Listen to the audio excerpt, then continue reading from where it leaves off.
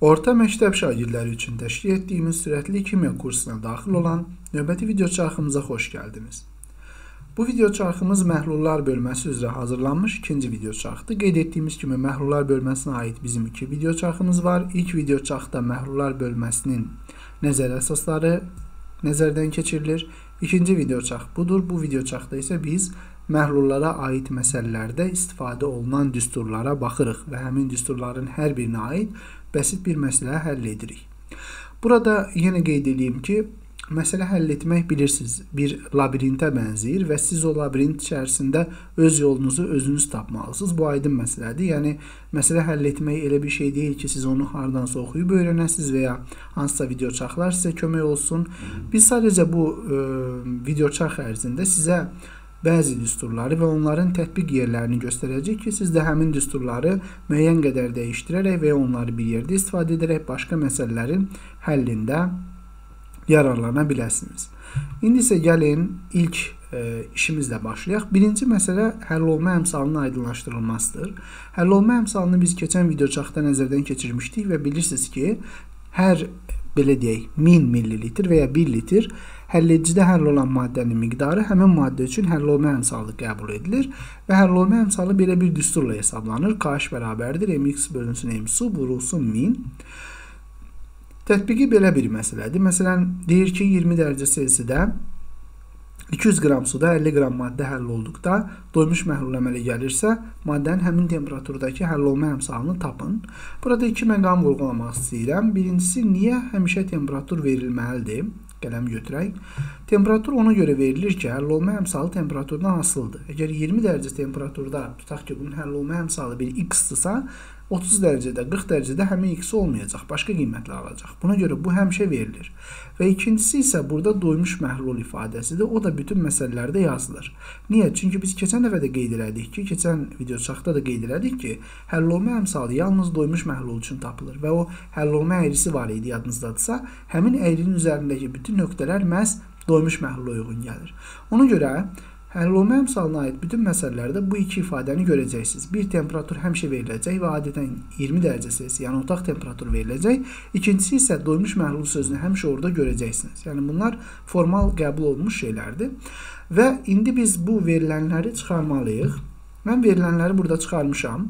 Baxın, suyun miqdarını 20 qram, çünki deyir, e, sorry, 200 qram. Çünki deyir ki, 200 qram suda Ona görə suyun miqdarı olur 200. Həll olan maddənin miqdarı 50 qramdır. Çünki deyir ki, 50 qram maddə həll olunduqda doymuş məhlul əmələ gəlir və qarşı tapmalıyam. Düstura əsasən 50-ni bölürəm 200-ə, yəni həll olan maddənin miqdarını suyu miqdarına bölürəm, vururam 1000-ə və buradan da 250 qram bölünmüş litr alınır. Nə deməkdir? Yəni mahiyyətini başa düşmək lazımdır. Bu o deməkdir ki, həmin maddənin 20 dərəcə Selsidə hər 100 mil, e, belə deyək də, hər 1000 millilitr, yəni 1 litr suda həll ola bilən miqdarı 250 qramdır. Əgər siz 2 litr su götürsəniz, təbii ki, burada 500 e, e, qram maddənin həll olmasından danışacaq. İkincisi kütlə payıdır. Bu faizli qatlıq dediyimiz əslində elə maddənin kütlə payıdır. Bunu yenə deyirəm, siz fizika e, fizika deyəndə daha çox riyaziyyat kursundan bununla tanışsınız. Yəni məhlul məsələlərini orada da öyrənirsiniz. Belə bir düsturla tapılır. Maddənin miqdarını maddə ilə suyun cəminə bölüb vurursunuz 100-ə. Belə bir nümunə məsələdə tətbiq oluna bilər. 200 qram suda 50 qram maddə həll olduqda məhlul doyur. Yəni doyub doymamağının bizə dəxli yoxdur, çünki bu həll olma əmsalı deyil, sadəcə verilib bu məsələdə. Həll olmuş maddənin kütlə payını hesablayın deyir. Verilənləri çıxardıram. Suyun miqdarı 200-dür, duzun miqdarı, yəni maddənin miqdarı bilmirik, duzlu ya deyil, 50 qramdır. Həll olma əmsalının e, sorry, e, kütlə payı bilinmir. Omega sualdır. Düstura əsasən 50 bölünsün 200 də gərək 50. Düsturdakiləri yerinə qoydum sadəcə. Vur 100. Buradan da cavab alınır. 20%. Növbəti nəzərdən keçirməli olduğumuz molyar qatlıqdır. Bu yeni bir anlayışdır. Gəlin əvvəlcə bunun nəzəriyyəsini izah edək. Molyar qatlıq nədir? Faizli qatlıq qramlara görə həll olan maddənin miqdarını hesablayırsa, molyar qatlıq mollara görə hesablayır. Yəni təsəvvür edin ki, məhlulun müəyyən bir həcmindəki qramların miqdarı sizə faizli qatlığı verir. Məhlulun həlledicinin belə deyək, məhlulun müəyyən bir həcmində həll olan maddə mollarının sayı isə sizə molar qatlığı verir. Molar qatlığın düsturu belədir. Cm ilə işarə olunur. Nü böl V, yəni nü maddə miqdarı molların sayı böl V, yəni məhlulun həcmi, oradan da alırsınız molyar. Və işarəsi də böyük M-dir. 1M, yəni 1 molyar. 1 molyar məhlul nə deməkdir? Bunu aydınlaşdıraq. 1 molyar məhlul odur ki, əgər məhlulun 1 litrində 1 mol maddə varsa, buna deyirik 1 molyar məhlul. İndi 2 molyar məhlul nədir? Litr sabit saxlayırsınız, yenə 1 litr məhluldur. Bu dəfə içində 2 mol maddə var. Bu olur nə? 2 molyar məhlul. Yəni molu qramla ifadə edəndə özünüz görə bilərsiniz ki, bu yetərincə böyük bir miqdardır. Məsələn, təsəvvür edək ki, sulfat turşusunun ə, molekul kütləsi 98 olanda siz 2 mol sulfat turşusundan danışanda 1 litr suda 2,98 qram sulfat turşusunun olmağı deməkdir. Bu da yetərincə qatı bir məhluldur. Yəni heç də duru məhlul deyil. Rəqəmləri kiçik görüb aldanmaq olmaz. Və burada Nünü işarə edirik M bölü M-lə. Bu çətin bir şey deyil. Bunu biz e, lab o əvvəllərdə öyrənmişdik. Kiçik M bölü böyük M nünün tapılma ifadələrindən biridir və onu birinci düsturda yerinə yazanda düstur dəyişilir. Belə bir hala düşür. Bunu nə zaman işlədirsiniz? Görəndə ki, məsələ sizə molları yox, qramla kütlələri verib ki, o zaman o həm də sizə molyar kütləni verməlidir. Əks halda işləmir düstur. Və bu zaman bu düsturu götürürsüz. Burada qramla miqdarı bölürsüz molyar kütləyə və onun nəyə hasilinə, həcmə hasilinə. Bir məsələ də var ki, tətbiqinə gəlin baxaq. Gəlin görək bunu harda tətbiq edirik. Baxın 2000 ml, yəni 2 litr məhlulda 4 mol maddə varsa, molar qatlığını istəyir bizdən. İndi gəlin birinci verilənlərimizi çıxaraq. Verilənlər çıxdı, gördüyünüz kimi. Məhlulun həcmi nə qədərdir? 2000 ml, yəni 2 litr. Bir şeyə çox ciddi fikir verməyinizi istəyirəm. Baxın, burada biz hər zaman litrlə işləyirik. Eləmi? Onu deməli, millilitrlə olsa belə o miqdarlar hökmən çevrilməlidir nəyə? Litrə. Bunu aydınlaşdıraq. Və burada molun miqdarı verilib 4 mol. Mən də nü bərabərdir 4 mol yazdım və Cn bərabərdir sual. Düstur qoydum yerinə hesabladıq. Molun miqdarını böldük məhlulun həcminə, yəni litrlə götürdük məhlulun həcmini və buradan da 4 bölü 2 2 molyardır. Deməli məhlulumuz 2 molyar qatlıqlı məhluluymuş.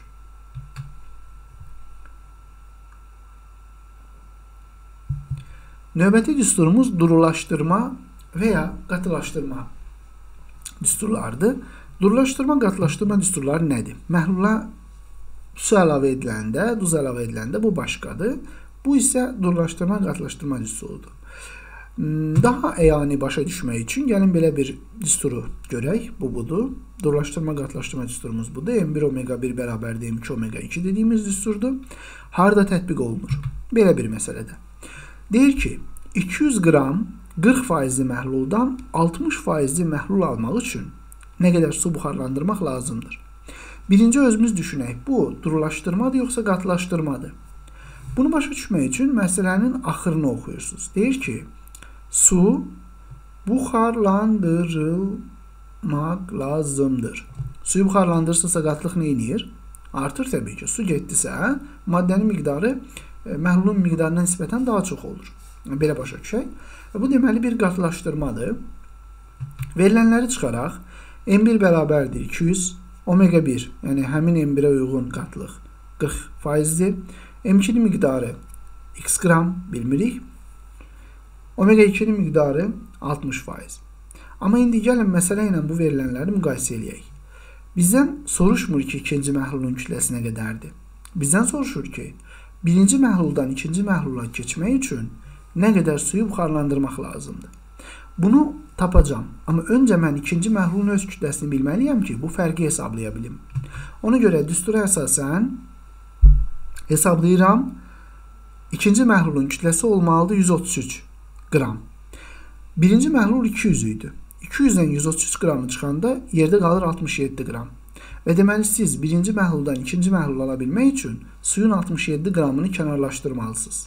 Bu qədər sadə.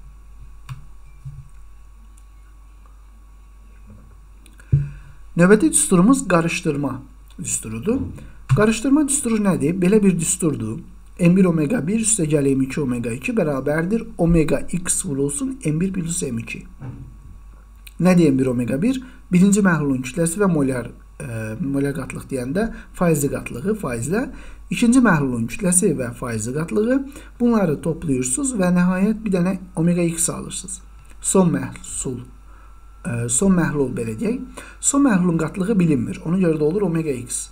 Baxın, burada çox maraqlı bir məqam var. Son məhlulun qatlığı qatlıqların cəmi ola bilməz. Çünki qatlıqlar toplandığı zaman aralıq bir qiymət alacaqlar. Yəni həmin qatlıqların heç birini almayacaqlar və ya ə, belə deyək də hər hansı bir sabit qatlığı almayacaqlar. O dəyişəcək. Bunu belə başa düşək. Burada isə kütlələr toplanılır. İndi gəlin nümunə məsələmizə baxaq. Nümunə məsələmiz deyir ki, 400 qram 50 faizli məhlulu 600 qram 20 faizli məhlulla tam qarışdırırlar. Verilənlərimizi çıxaraq görürsüz. M1 bərabərdir 400 qram. Görürükmü? M2 600-dür. Yazdıq. 400 qramlıq məhlulun qatlığı 50%-dir. 600 qramlıq məhlulun qatlığı 20%-dir. Bunları çıxartdıq. Məsələ bizdən soruşur ki, sonda neçə faizli məhlul alınır? Yəni omega x-in qiymətini soruşur. Onu da sual olaraq qeyd edirik. Hesablamamız gördüyünüz kimi hər biri öz yerindədir. Nəhayət cavab olaraq x bərabərdir 32 alırıq. Burada durulaşdırma və qatlaşdırma zamanı yuxarı və aşağı hədlərin gözlənilməsinə toxunmaq istəyirəm. Baxın, bizim məhlullardan biri 50% idi. Bunu işarələyək. Digər neçə faizli idi? 20% idi. Neçə faizli məhlul aldıq axırda? 32. Əgər 20 burada olsa, 50 burada olsa 32 bu 20 ilə 50-nin arasında bir yerdə təxminən belə bir mövqe alacaq. Düzdürmü? Bu həmişə belədir. Bunu yadda saxlayın. Durulaşdırma və ya qatlaşdırma zamanı sizin yeni e, belə deyək də qarışdırma zamanı belə deyək, qarışdırma zamanı sizin aldığınız yeni məhlulun qatılığı hər zaman birinci və ikinci məhlulların qatlıqlarının arasında bir yer tutur. Yəni nə e, duru məhluldan daha aşağı bir qatlıq ala bilər, nə də ki qatı məhluldan daha qatı bir qatılıq ala bilər.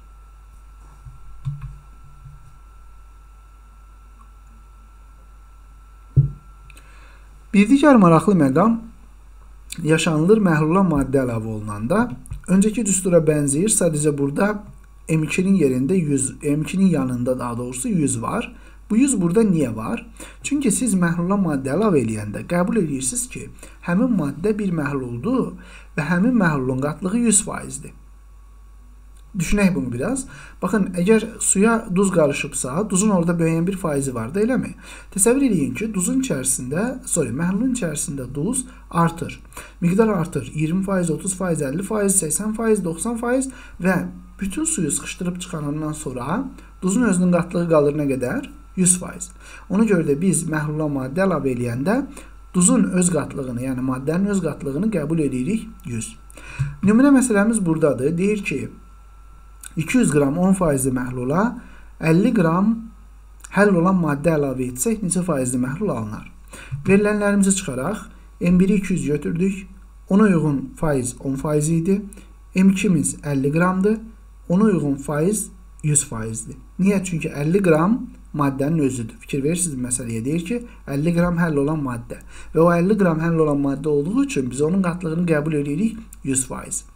Və nəhayət omega x-in qiyməti bilmirik. O da sual işarəsinə bərabər olur. Hesablama aparırıq. Hesablama nəticəsində də alırıq ki, omega x-in qiyməti 28-dir. Fikir verdinizmi? Ee, burada bir maraqlı məqam ondan ibarətdir ki, bunu mütləq qeyd eləməliyəm. İlkin qiymət 10 idi. Fikir verirsinizmi? Son qiymət yəni duz əlavə etdiyimiz üçün 100-ə qədər arta bilərdi. Fikir verirsiniz? Bizim aldığımız qiymət oldu nə qədər? 28. Yenə də bu 28 ilkin qiymətlə son qiymətin arasında bir mövqe tutdu. Fikir verdinizmi? Yəni ondan aşağı da ola bilmədi, 100-dən də yuxarıda aydın məsələdir ki, ola bilməz. İndi biz həmin məhlula su əlavə eləyəcəyik. Gəlin görək su əlavə eləyəndə nə baş verir? Su əlavə eləyəndə bayaq 100-ü gördüyünüz yerdə yazılır 0. Niyə 0 yazılır? Çox vacibdir. Çünki baxın, əvvəlki misala bir də qayıtmaq istəyirəm. Təsəvvür edin ki, siz məhlulunuzda müəyyən qədər duz və müəyyən qədər də su var. Duzun miqdarını saxlayırsınız sabit yerində, suyun miqdarını artırırsınız. Siz suyun miqdarını artırdıqca məhlulunuzun qatılığı get-gedə azalmağa başlayır, düzdürmü? Durulaşır məhlulunuz. Və ona görə də siz məhlula əgər su əlavə edirsinizsə, gələn suyun tərkibində duz yoxdur ya da maddə yoxdur. Ona görə onun qatılığını 0 olaraq qəbul edirsiniz. Yəni o təmiz həlledicidir. Qatlığı da sıfırdır.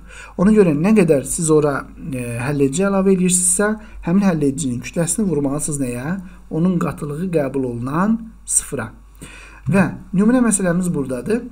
200 qram 10% məhlula 100 qram su əlavə etsək, neçə faizi məhlul alınır? Burada görürsünüz, M1 bərabərdir 200 qram, omega 1 bərabərdir 10%, 200 qram 10% məhlul demişdi ona görə aşağıdan oxuya bilərsiniz. M2 100 qram, ona uyğun faiz 0. Niyə? Çünki yenə deyirəm, əlavə olunan nədir? Sudur və suyun içində maddə olmadığı üçün onun qatlığını qəbul edirəm nə? 0. Və buradan da hesablamaq lazımdır omega x-i. Hesablama aparıldı və qiymət 6,6% olur. Baxın, indi burada fikir verin yenə bir şeyə. Bu dəfə biz aşağı hədd 0 idi. Yuxarı hədd bizim öz məhlulumuz idi. Nə idi? 10% idi. Bizim aldığımız oldu nə? 6,6%. Fikir verirsinizmi? Yenə də aşağı həddlə yuxarı həddi gözlədi. Fikir verirsiniz? Aşağı hədd və yuxarı həddin arasına düşdü. Bunu yenə dəfələrlə vurğulayıram, çünki bir çox tapşırıqlarda bizi məhz bununla sınayırlar. Yəni harda ola bilər? İki məhlulu qarışdırdım, qatlıq nə olar? Çətin bir şeylər deyil. İndi isə gəlin qarışdırma üsulu ilə tanış olaq. Bu əslində orta məktəb proqramından kənar bir üsuldur, amma düşündüm ki, sizin üçün də faydalı olar bu üsul. Qarışdırma üsulu necə işləyir? Belə bir sxemlə işləyir qarışdırma üsulu. İki məhlul qarışdıracaqsınız. Gəlin istəyirsiniz nümunə məsələyə də baxaq.